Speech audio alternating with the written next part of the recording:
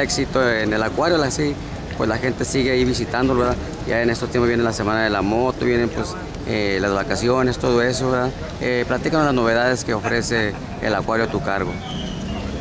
Bueno, estamos trabajando en los proyectos, ya en la implementación de los proyectos nuevos para la temporada que ya se nos viene encima de Semana Santa y sobre todo siguiendo con los programas de apoyo educativo a la zona sur, con el programa El Campo al Mar y Conociendo a mi Acuario, que han sido sumamente exitosos en, en las escuelas en la zona rural.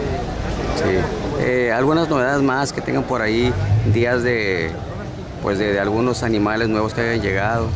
Eh, tenemos nuevas especies de peces, ¿no? estamos incrementando, ya llevamos alrededor de un 60% de, de incremento en número de organismos en lo que recibimos nosotros y también el número de especies ha subido alrededor de un 30% más. ¿Su nombre y puesto? Espectáculos, de los horarios de los espectáculos de aves y de... De aves varían entre semanas, se ofrecen tres espectáculos de 12 a 3 de la tarde y 5 de la tarde. En- son continuos, son de diferentes, se pasa de una exhibición a otra y entre semanas se incrementa un, uno más, en fin de semana.